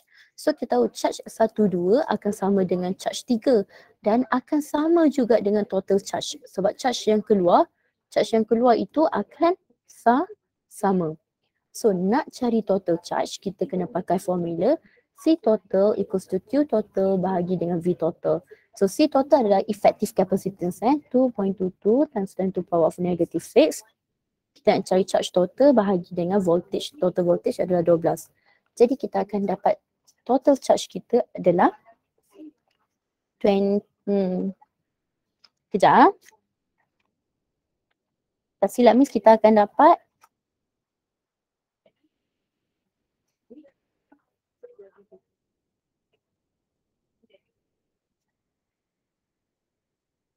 akan dapat, uh, korang cek untuk miss betul tak? 2.66 times 10 to power of negative 5 coulomb. Okay, so awak akan dapat total charge awak 2.66 times 10 to power of negative 5 coulomb. Okay, lepas dah dapat charge, okay, kita dah settle kat series kan? Kita tengok parallel. Parallel kalau apa yang sama guys? Parallel apa yang sama? Voltage dia betul tak? Jadi sebenarnya voltage S12 akan sama dengan V1 dan akan sama dengan V2. Tetapi tak perlu pun nak cari yang ini. Sebab sekarang kita nak cari voltage dekat V3. So jadi bila awak dah tahu charge 3 awak ini adalah ini, awak boleh cari terus V3 awak iaitu C3 equals to Q3 bahagi dengan V3. So C3 kita adalah 4 microfarad. 4 times 10 to power of negative 6 dan Q3 kita adalah 2.66 times 10 to power of negative 5 bahagi dengan V3. So V3 awak akan dapat 6.66 volt. That's all. Okay. Okay, misalan balik. So soalan ni dia minta kita cari apa? Dia minta kita cari potential difference dekat across capacitance 3 ni lah kan. So macam Miss cakap, bila kita lukis effective capacitance daripada diagram 1 ke diagram 2, bila kita nak cari benda lain, dia adalah daripada diagram 2 ke diagram 1. So diagram dua ini, kita tahu dia berakhir dengan series. So bila dia berakhir dengan series, series kita tahu charge dia adalah sama. Jadi kita boleh cari total charge. So total charge itu akan sama dengan charge yang lalu dekat kapasitor 1, 2 akan sama dengan charge yang lalu dekat kapasitor 3. So dah dapat charge, boleh cari awak punya dah dapat charge 3 ni, dah boleh cari potential difference dekat kapasitor 3. So pakailah C3 equals Q3 bahagi dengan V3. So dapatlah jawapan. So markah dia dapat tang mana? Markah dia adalah markah konsep ini. Ini dikira markah konsep satu. Rumus awak. Gantian. And then rumus awak dekat sini. Dan juga gantian dan jawapan dan unit di sini.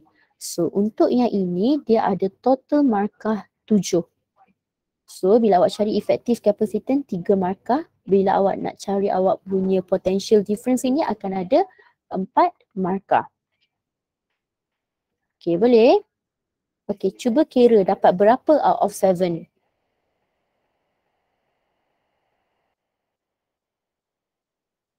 Okay cuba kira, cuba korang kira korang dapat berapa out of seven. Okay very good full marks. Very good mantap. Ini yang kita mahu. Baik bagus. Okay very good. What about the rest? It's okay kalau salah no worries kita belajar kan. Okay very good. Wow. So korang dah okay lah, dah boleh faham lah macam mana nak cari potential difference semua tu. So misal agak risau lah yang itu untuk korang.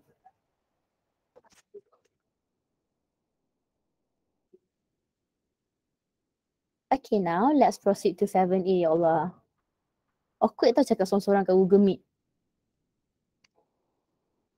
Okay next question adalah what is the function of a capacitor? So apakah function capacitor sangat senang? To store electric charge. To store electric charge. So awak cakap ni sahaja awak dah dapat satu markah. Okay.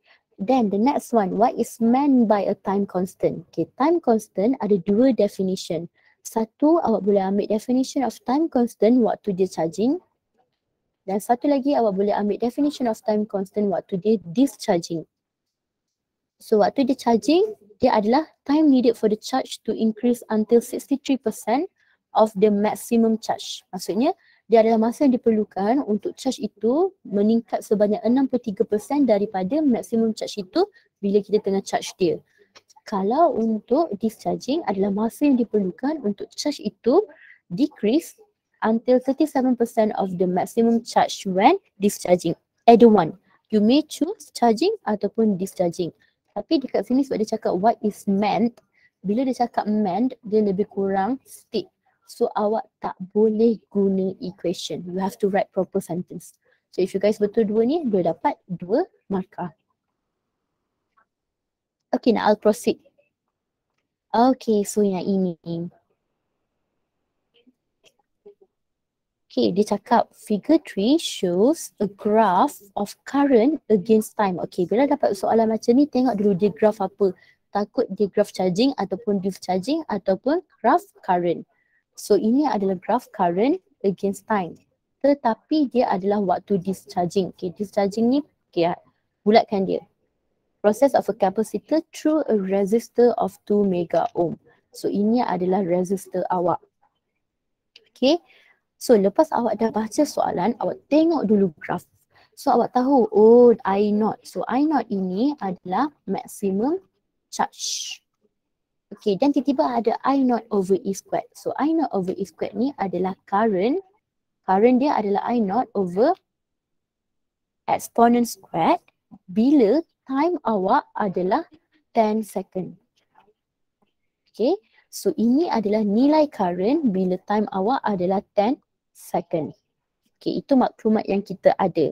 Sekarang baru kita buat calculate the capacitance of the capacitor and the time constant. So dia minta awak cari C dan juga time constant.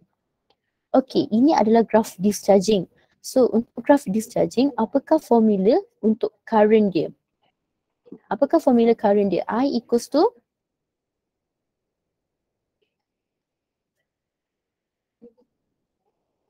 I equals to negative I naught exponent power of negative T over RC. Okay, so current. Sekarang kita nak cari apa? Kita nak cari C kita. Okay, kita boleh pakai masukkan semua maklumat ini. Kenapa? Sebab kita tahu time dia, time taken dia dan kita juga tahu current dia. So current dia akan sama dengan I naught over exponent squared equals to negative ini kita boleh ignore. So I naught exponent power of time taken dia adalah 10, resistor dia adalah 2, 2 times 10 to power of 6 capacitor. Kiri kanan sama, kita boleh potong. So potong I naught dengan I naught. So sekarang ditinggallah dengan 1 over E squared exponent power of negative 10 2 times 10 to power 6 darab dengan capacitance. So sekarang macam mana Miss nak get rid of exponent? Anyone? Macam mana Miss nak get rid of E ni? tambah lon kiri kanan. Very good. Hafizah. Lon. Very good.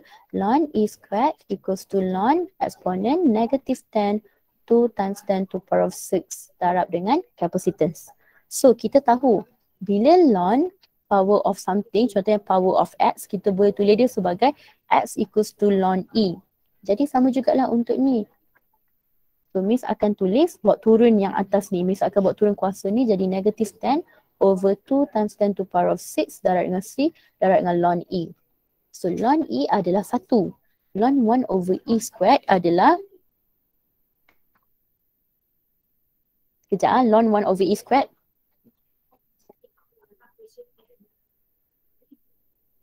negative 2. So equals to negative 10 over 2 times 10 to power of 6 darab dengan capacitance. So awak akan dapatlah capacitance awak 2.5 times 10 to power of negative 6 farad. Lon. Ah, kenapa dia ni? Okay, so ini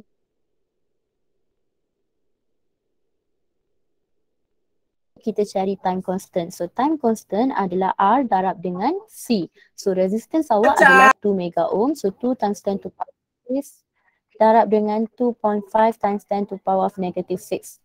So awak akan dapat awak punya time constant adalah 5 second. Okay boleh? Senang tak bila tengok Miss buat? So markah dia, markah dia, markah dia, lupa-lupa. So markah dia awak akan dapat dekat rumus satu, awak akan dapat dekat gantian satu dan awak akan dapat dekat jawapan akhir satu. Selepas itu untuk ini awak akan dapat dekat rumus satu dan jawapan akhir satu. So untuk yang ini, untuk soalan satu ni saja awak dah dapat satu, dua, tiga, empat, lima markah. So dekat sini saja dah dapat lima markah. Okay, tolong tulis saya markah korang. Okay, so Miss akan teruskan dengan 7B2. May I? Yes, I may. Okay, baik. Miss akan teruskan dengan 7B2. So, 7B2, dia minta apa? Dia minta time taken for the current decreases to half of its maximum value. So, dia minta time, berapakah masa dia bila Ah, okay, very good. So, kau dapat 5 per 5. Okay, very nice. Miss baru nak suruh tambah dengan markah bawah lagi. Time taken when the current when the current equals to half of the maximum current. Okay, soalan B2 ini dia minta masa bila awak punya current tu setengah daripada maximum current. So macam mana nak buat sama juga. Ha ni, ha, ni kenapa ni tadi so, pakai je balik formula yang sama. Sekarang bezanya awak substitute current awak dengan half I naught and then ini I naught exponent negatif time taken tu kita nak cari. Okay, Miss nak tanya, RC ni sama dengan apa? RC ni sama dengan apa? R darab dengan C ni sama dengan apa? Lima. Very good. Very good. Dia adalah 5. Sebab apa? Sebab dia adalah time constant.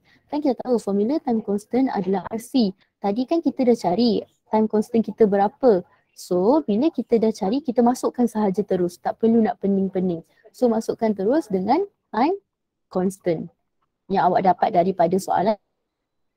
So, sekarang potong je lah I not, I not kiri kanan sama, potong. And then nak get rid of ln, kita kena, uh, nak get rid of exponent, kena ln both side. So, awak akan dapatlah ln half equals to negative t over 5 ln e. Ln e adalah 1. So, ln half adalah negative 0.693 equals to negative time over 5. So, time taken dia adalah 3.46 saat. That's all. Okay, boleh? Okay, sekarang baru kaklik markah dapat berapa. So, kalau awak betul, awak akan dapat markah gantian satu dan juga markah jawapan dari unit akhir satu. So, cuba kira untuk ini, untuk soalan B1 dan 2 ni dapat tak tujuh markah? Berapa total korang dapat? Ha, baru tulis.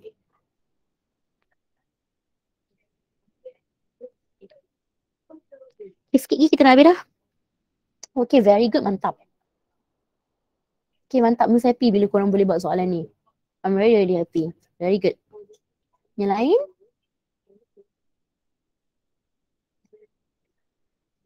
Okay, so now Miss akan proceed dengan C.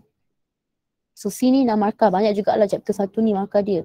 So figure 4 shows two point charge. Okay, kita ada two point charge. Positive 5 microcoulomb dengan negative 5 microcoulomb. Dan kedua-dua charge ini are separated by 10 cm. Okay, if the work done to bring a charge of positive 3 nanocoulomb. Okay, charge yang kita boleh gerakkan, kita panggil dia test charge ke point charge? Point so, charge. kita panggil dia sebagai um, A, test, test, dia test. ada test charge, test charge, okay, test charge. Sebab test charge adalah charge yang kita boleh gerakkan dia. So, sekarang tengok soalan kata apa. If the work done to bring uh, uh, to bring charge of 3 nanocoulomb, means this is your test charge from point S to point T. So, maksudnya awak nak bawa charge tu daripada point S ke point T, work done dia adalah 2 joule. Dia minta kita calculate electric potential dekat point T. So dia minta kita calculate electric potential dekat point T berapa. Okay, Miss nak tanya, apakah formula untuk electric potential? Anyone? Apa formula untuk electric potential? KQ V over R to? square. Okay, KQ over R. Okay, dia tak ada square. Okay, sebelum itu lagi satu. Apakah formula dia? V equals to yang ada word done. Apa formula dia? Cuba tengok balik.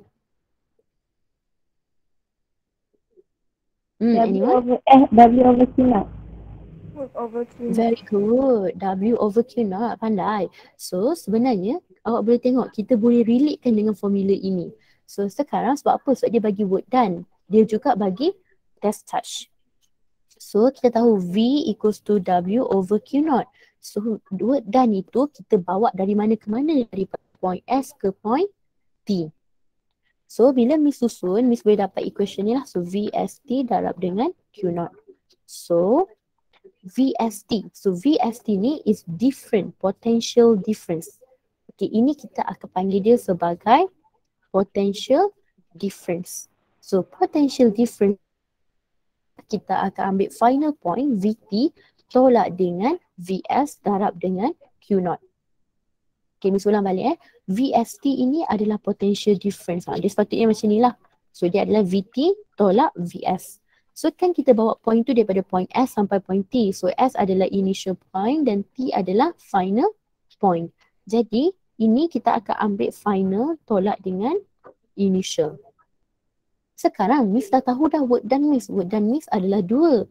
And then, okay Miss nak cari apa? Miss nak cari VT. Okay, sebenarnya Miss boleh cari VS dan Q naught Miss, Miss dah tahu 3 times 10 to power of negative 9.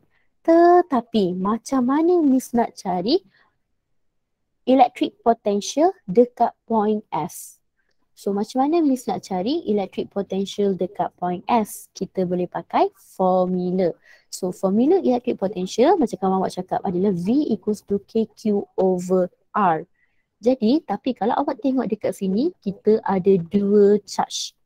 So bila ada dua charge kita kena consider dua-dua charge. So KQ1 over R1S tambah dengan KQ2 over R2S. So dapatlah 9 times 10 to the power of 9. Charge satu kita adalah 5 microcoulomb. And then jarak daripada charge satu sampailah ke point S. Ni charge satu, ni charge dua. Adalah 3 cm. Tambah juga dengan 9 times 9 times 10 to the power of 9 Q2 kita. Okay, ni nak tanya. Untuk electric potential kena masukkan ke tidak charge dia? Negatif tu kena masukkan ke tidak? Kena. Kena. Kena, very good, pandai, mantap. So itu sangat penting untuk Miss kena masukkan. Dan jarak daripada charge 2 sampai charge uh, point S adalah 7 cm. So 7 times 10 to power of negative 2. So electric potential awak dekat point S adalah 8.57 times 10 to power of 5 volt. Sekarang awak dah tahu. So awak masukkan sahaja dalam formula ini. So electric potential dekat point S kita dah tahu. 8.57 times 10 to power of 5 darab dengan Q naught. So 3 times 10 to power of negative 9. So awak akan dapat awak punya electric potential at point T adalah 6.68 times 10 to power of 8 volt. Kenapa?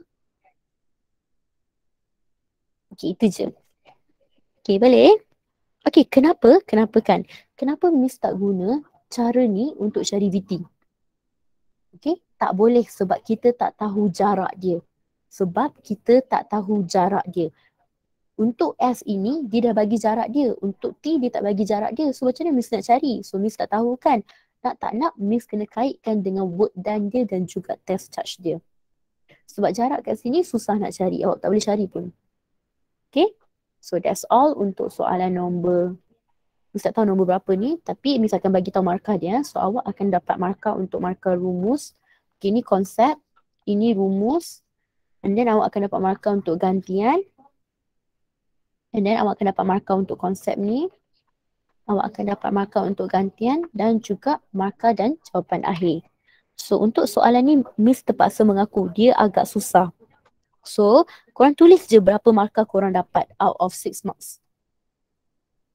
Okay, just write out of 6 marks, how many marks do you get?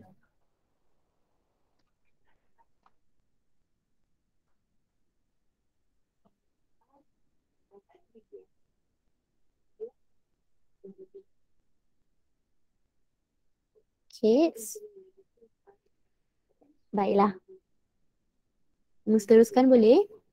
Tak nak tulis ke? Ke korang tinggal soalan ni? Okay, berapa ramai orang tinggal soalan ni tekan nombor satu di chat box. Siapa yang tinggal soalan ni tekan nombor satu kat chat box?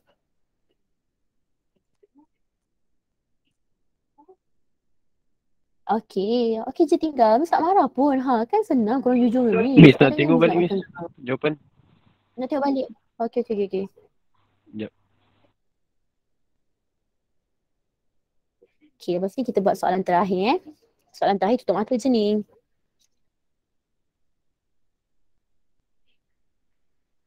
Okay, yang lain buat ke soalan ni? Kalau buat dapat markah berapa? Eddie Okay, dah nanti bagi tahu eh? Dah. Alright, okay. Teruskan dengan soalan nombor 8. Danny Ramli try ke soalan ni? Okay, so next one, nombor 8, last one. Okay, nak balik kan? Okay, Miss Miss nak balik, korang duduk sini. Okay, so a battery with EMF 12 volt. So battery dia adalah 12 volt. And internal resistance, okay, so ini battery tau. Dalam ni adalah battery. So battery ini akan ada internal resistance of 2 ohm. It's connected to a resistor of 4 ohm. So the question asks us, what is the reading of the ammeter and voltmeter in the circuit? Ya Allah, soalan ni kita dah buat dah waktu ETS 1. So Miss nak pakai formula apa cari current? Tak sempat nak mark miss tadi keluar masuk keluar masuk. Oh, it's okay, it's okay. Uh, Aini nanti Miss bagi uh, jawapan, skema jawapan dalam group. Boleh ke? Okay, so Miss nak tanya, okay, apakah formula yang kita nak cari untuk cari ammeter reading dia? So, bila dia cakap ammeter, maksudnya kita nak cari current. Bila dia cakap voltmeter, kita nak cari voltage. Okay, apakah formula dia? Anyone? Nak balik? I mean, nak habis kelas awal ke tidak? Okay, so kita akan pakai formula EMF equals to I R tambah R. So EMF kita adalah 12, current kita nak cari, resistance kita adalah 4 dan internal resistance kita adalah 2. So kita akan dapat current of 2 ampere. And then dia minta apa? Dia minta voltmeter in current. So kita pakai V equals to IR. Di mana I kita adalah 2 dan resistance kita adalah 4. So awak akan dapat 8 volt. Atau awak boleh guna cara ni. EMF equals to V plus I darab dengan internal resistance. So EMF awak 12 and then voltmeter, uh, voltage awak, awak nak cari, current adalah 2, internal resistance adalah 2. So awak akan dapat balik awak punya voltage adalah 8 volt. So kat mana nak dapat markah? So nak dapat markah dia senang je. Gantian satu, jawapan dan unit satu. Sama juga ni. Gantian, jawapan dan unit adalah satu.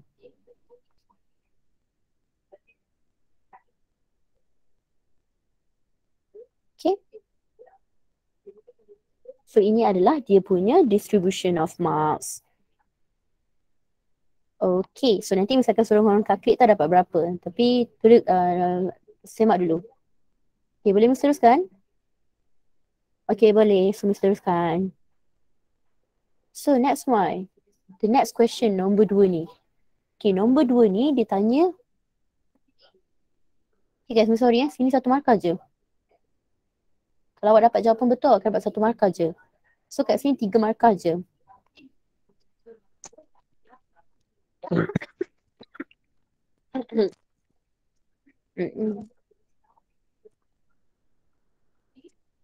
Okay, so Miss teruskan. Okay, Miss nak tanya soalan ni. Kenapa, kenapa, why is the voltmeter reading different from the EMF of a battery? Why? Anyone?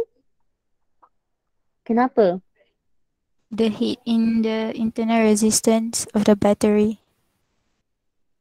Very good. Okay, because energy will energy will lose as heat in internal resistance in the battery. Ataupun bercakap energy will dissipate as heat in internal resistance of the battery. Settle. Satu markah. Keywords dia apa? Internal resistance. Due to the internal resistance. Kalau tak nak guna perkataan lose, guna perkataan dissipated. Okay, boleh? Okay, Miss teruskan ya. So next one adalah dia cakap ini. When the 4 ohm resistor is replaced by a conductor of zero resistance. So maksudnya sekarang kita akan ganti dia dengan zero ohm resistance. What are the new readings of the voltmeter and ammeter? So maksudnya dia minta kita cari voltage dan juga current. So sama juga. Pakai je lah EMF equals to I, R tambah dengan R. So EMF kita adalah 12, current kita nak cari, resistance ni kita dah tahu kosong dan internal resistance adalah 2. So awak akan dapat current awak 6 ampere. Okay dan sekarang nak cari voltmeter. So sama juga V equals to IR. Dan V kita nak cari current kita 6 tetapi resistance kita adalah kosong.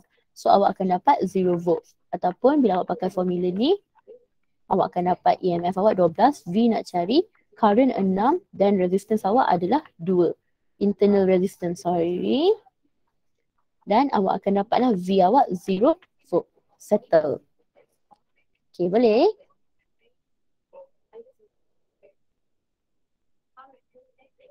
Senang je. So distribution of marks dia adalah tambah Boleh. kat sini. Okay. Gantian satu markah. And then jawapan dan unit satu markah. And then yang ini satu markah sahaja dapat. So tiga markah. So untuk nombor tiga ni dia adalah tiga markah. Nombor dua ni satu markah. Dan yang ini adalah tiga markah. Ya Allah kalau awak dapat soalan macam ni tujuh, tujuh markah ni kira macam bonus mark lah misalnya kata. Okay guys, last question. Let's do this. So the last question adalah Kirchhoff. Tapi Kirchhoff ni banyak sangat resistance dia. Okay, so referring to the circuit shown in figure 4, calculate the current I1, I2 and I3. So dekat sini adalah I3 awak lah. So first of all, macam Miss cakap, kita determine dulu direction of current dia eh. So Miss tengok simpang dia. So I1 akan masuk simpang dan keluar sebagai I2 dan I3. Maksudnya dia masuk dan dia akan pecah sebagai I2 dan I3. So bila dia masuk kat sini pun adalah junction. So jadi bila I2 ni dia akan pecah kepada I1. Settle. Dan I3 ini awak memanglah dia bila dia pecah memanglah sepatutnya dia ke kanan. Tapi tak boleh awak kena tengok direction yang dia dah beri. So awak tak boleh buat macam ini. Salah. Jadi nak tak nak awak kena continue sahaja. Ini adalah I3, I3, I3 dan I3. Okay. So settle. Lepas tu Miss nak color dulu Miss punya resistance supaya Miss tak terlepas later. And then Miss nak highlight dulu Miss punya EMF. So kita ada dua EMF. So Miss akan label dia sebagai EMF 1 dan EMF 2.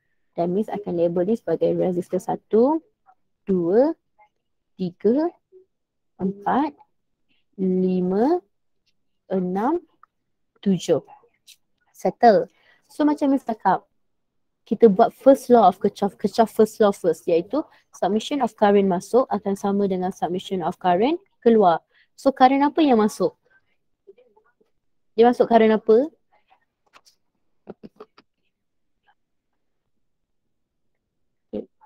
Current yang masuk adalah current satu dan dia keluar sebagai current dua dan juga current tiga. Okay. Selepas itu kita tahu submission of current equals to zero. Therefore I1 tolak I2 tolak I3 adalah equals to zero. So this is your first equation. Jangan kacau. Okay, once you are done with the first equation, korang pergi pula ni. Dekat sini, lukis loop. So loop korang sekarang clockwise ke anti-clockwise sebelah kiri ni? Clockwise. Clockwise. Okay, clockwise. Penat tau misal kat seorang. Semput aku. Loop satu. Okay. So, sekarang kita tahu kita akan buat untuk loop satu. Kita tahu submission of EMF akan sama dengan submission of current darab dengan resistance. So, kita ada EMF satu dan kita ada current satu yang lalu resistance satu. Kita akan ada current dua yang lalu resistor dua. Kita akan ada current satu yang lalu resistor tiga dan kita akan ada current satu yang lalu resistor empat. Okay, dan direction of EMF dia kita kena tengok juga sebab direction of EMF dan juga direction of current dia akan depends on the loop lah whether it's positive ataupun negative. So dia adalah daripada negative to positive. So dia ke atas. So cuba tengok EMF ke atas, loop awak ni pun ke atas. Jadi dia adalah positif. So current satu ke kanan, loop awak ni pun ke kanan. So dia adalah po- positif. Okay, current dua awak ke bawah dan loop awak pun ke bawah. So dia adalah positif. Current satu awak ke kiri dan loop awak pun ke kiri. Jadi dia adalah positif. Current satu awak ke atas dan loop awak pun ke atas. Jadi untuk resistor empat ni dia adalah po- positif. So awak akan dapat 30 equals to 40 I1 tambah dengan 10 I2. So this is your equation number 2. Okay, so kita tengok pula untuk loop 2. So untuk loop 2 ni, Miss kena lukis dia clockwise ke anti-clockwise? Miss akan lukis dia Saya buat clockwise. clock. Okay, very good. Yes, buat clockwise. Sebab clockwise senang sikit. Satu current je beza nanti. So untuk loop 2 ni pun sama.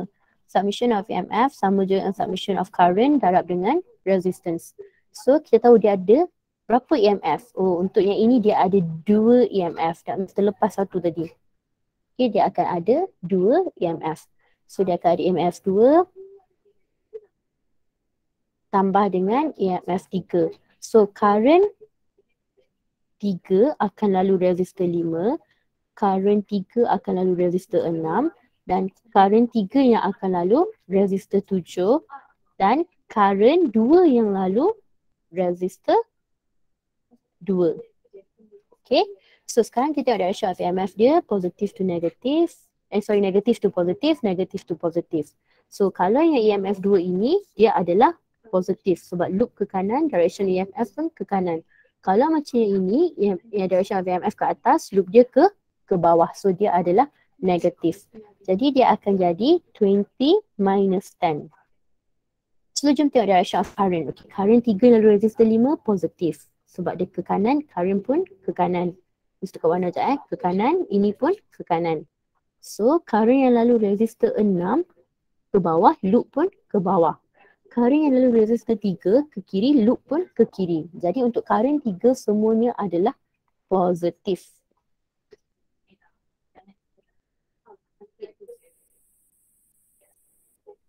Kejap ah, pening ah.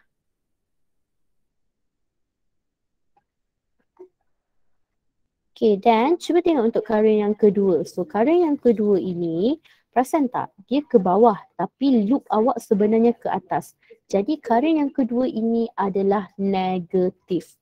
So dia akan negatif I2 darab dengan 10. So awak akan dapat 10 equals to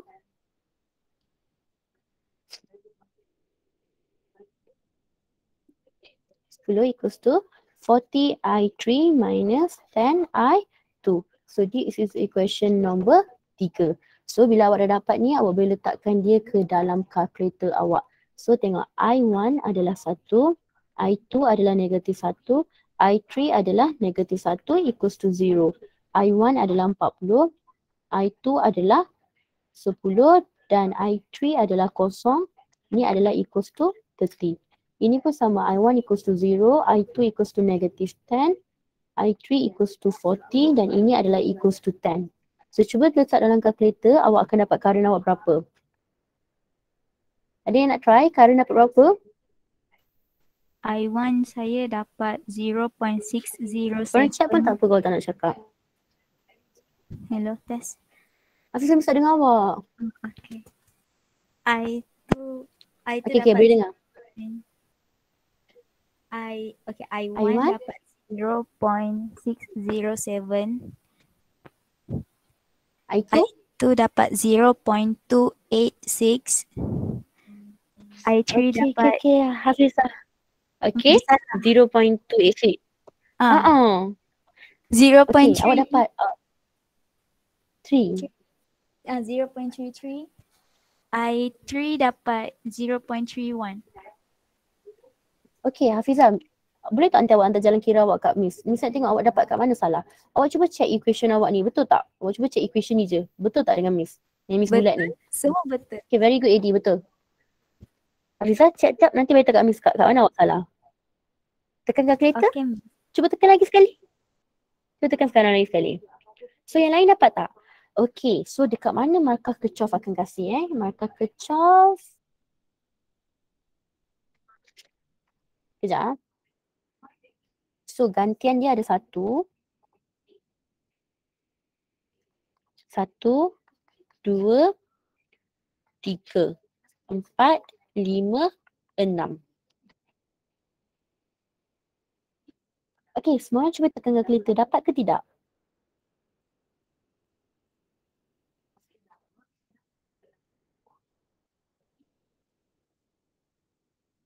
Okay, so cuba kira markah korang dapat berapa untuk nombor 8. So nombor 8 ni total marks dia adalah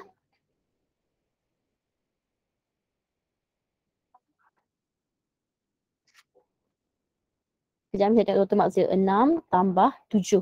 Okay, total marks dia adalah 13. Okay, cuba tengok korang dapat berapa markah korang. Okay, cuba tulis out of 13 berapa korang dapat.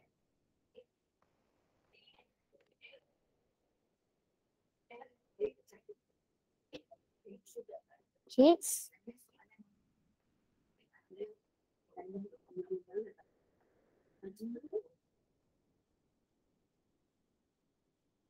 Miss dah tekan dah dapat dah. Dapat dah. Okay, awak tekan calculator lah kan. Ah, Okay, okay. okay.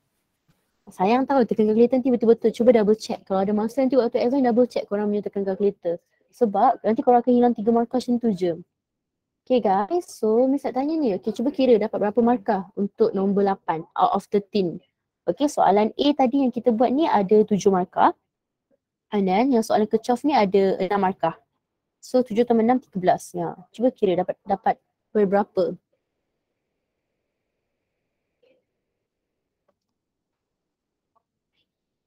Okay, very good. Hafizah dah yang lain? Dah. Dah. Okay lah guys, uh, apa yang dah? Apa yang korang dah? Miss suruh korang tulis dapat berapa markah out of 13 dekat chat box. Bukan je tulis dekat korang punya paper. Ah, paper tu tulis lah juga. Okay lah, that's all from me for today. Assalamualaikum and thank you so much everyone. Bye-bye. So tolong isi exit ticket ni link to your attendance. Okay, very good. Oh, okay, Thank you, so okay, Miss. hari ni nanti. Okay, welcome. Nanti awak misalkan hantar skema kat awak.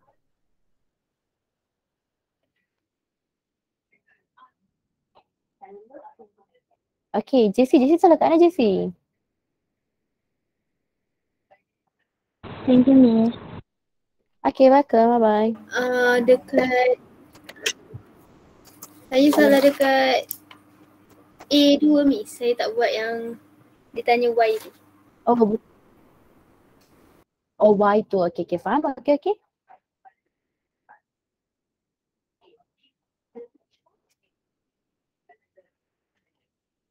Thank you miss. Welcome. Bye-bye.